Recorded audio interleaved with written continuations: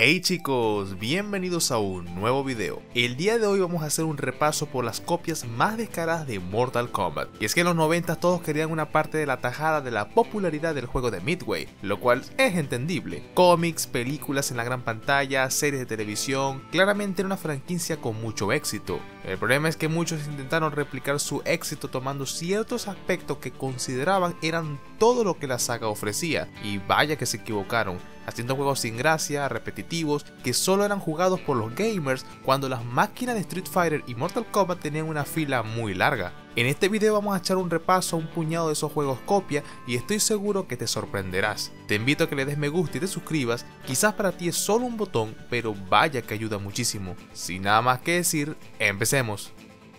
Time Killers fue estrenado solo un par de meses después que Mortal Kombat. No lo voy a negar, en aquellos tiempos los estudios eran rápidos para sacar juegos.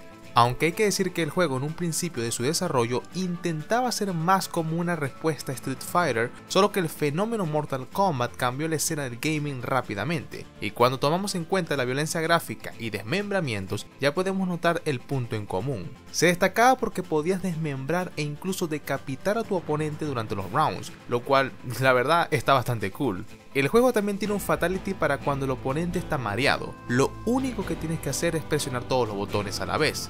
Es divertido la primera vez, pero una vez ves uno, todos los demás se te hacen totalmente iguales. Lo más memorable de este juego para las personas que llegaron a probarlo fue su jefe final, la muerte. Si vences a la muerte, tu personaje alcanzaría la inmortalidad, cosa que el jefe final repite sin parar durante toda la partida. Para vencer a la muerte debías decapitarlo, que es más fácil decirlo que hacerlo, porque este personaje vaya que hacía palidecer en dificultad a cualquier voz de la época. En fin, Time Killer se las arregló para ser lo suficientemente popular para tener un port para la Sega Genesis. Uno creería que los desarrolladores del juego se pondrían las pilas con esta oportunidad, pero yo creo que ni ellos mismos se creían que el juego llegaría tan lejos, y el resultado del port fue un juego estrenado en 1996 que se ve peor que uno de finales de los 80. Los gráficos eran malísimos, el sonido era de muy baja calidad y la muerte más rota que nunca, al punto que jugar a este juego era literalmente matar tu tiempo. Lo más irónico de todo esto es que la compañía que hizo Time Killers fue contratada por Capcom para hacer un juego, y adivinen ustedes de cuál se trata. Street Fighter la película. Pues sí, Capcom estaba muy impresionado con lo que Incredible Technologies hizo en Time Killers, así que los contrataron para hacer su juego de la película live action de Street Fighter. Lo que sí propuso Capcom fue utilizar los mismos actores de la película para que fueran digitalizados porque Mortal Kombat. El mayor problema de este juego es que intentaban imitar un juego animado con actores reales. Cuando se hizo Mortal Kombat este factor se tomó en cuenta, por tanto los ataques eran muy limitados y simples, haciéndolo ver natural, pero con este juego debía digitalizar movimientos muy locos que fueron creados con sprites en la mente.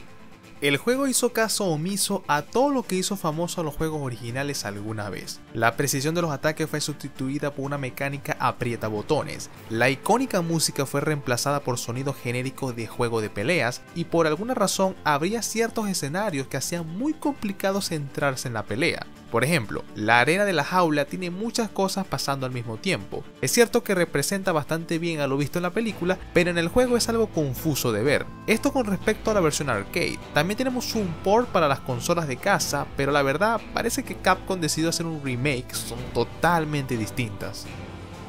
Tattoo Assassins. Ya nos estamos adentrando en lo peor de lo peor.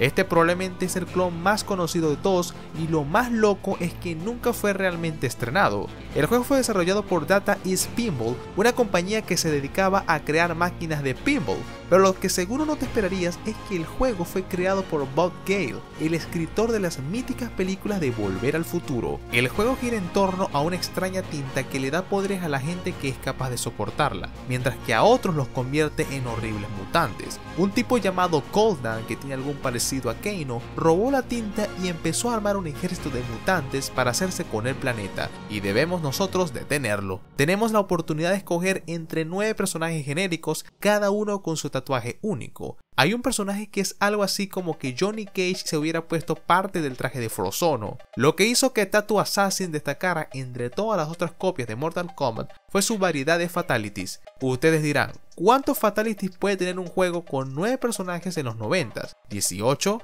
¿27? ¿En el mejor de los casos 36? No chicos, el juego tiene 2196 fatalities, dividido entre 9 serían 244 por cada personaje. O sea, estamos hablando de que las probabilidades de hacer un fatality con solo apretar botones random era altísima, no era necesario aprenderte alguno. Por supuesto, hacer tanto que muchos fueran muy jalados de los pelos, por ejemplo, ser aplastado por una réplica del Titanic, un gran mazo de juez, un matamoscas, una bola de boliche y uno que seguro les recordará a algo el lanzarse un pedo algo candente. Tardó un par de años para que Mortal Kombat llegara a ese punto con Borai Show. Carla tiene los más raros como tirar pavos del trasero y convertir al enemigo en salchicha. El juego también fue un paso más allá y se atrevió a hacer su versión de los Nudality, un fuerte rumor que había de que Mortal Kombat tenía uno. Sin duda, un juego muy loco. Y si creían que Tattoo Assassin era malo, déjenme les presento a Shadow War of Succession, un juego estrenado para la Panasonic 3DO, una consola de casa que usaba CDs, algo sumamente moderno a inicios de los 90.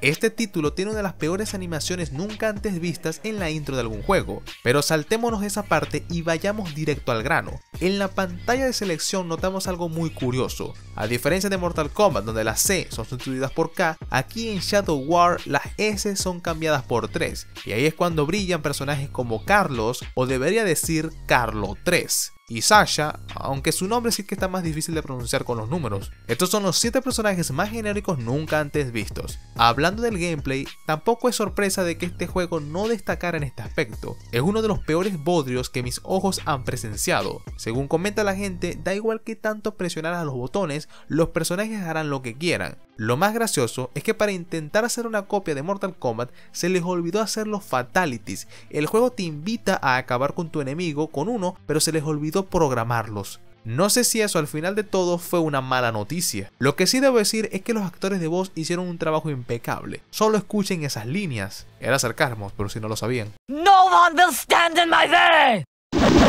Prepare to eat lead, baby. Get Y para quitarnos ese mal sabor de boca de los últimos dos juegos, Jackie Chan in Fist of Fire.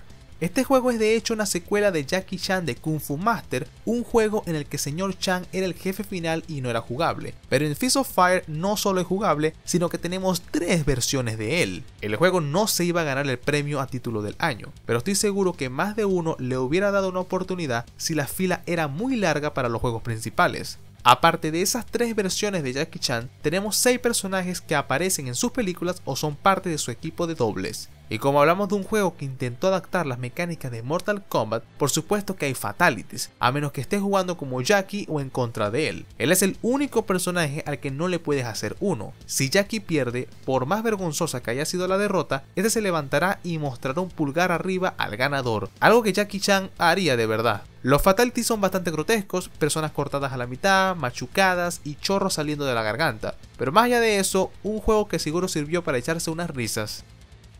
Y bueno chicos, hasta aquí el video de hoy, espero les haya gustado muchísimo. Te invito a pasar este video a ese amigo que le gusta tanto Mortal Kombat como a ti, con eso apoyarías muchísimo al canal. Nos vemos en el próximo video, chao chao.